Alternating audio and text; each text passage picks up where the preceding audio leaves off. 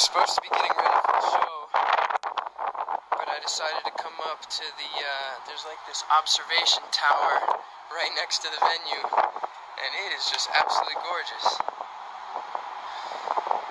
Like, what? This is insane.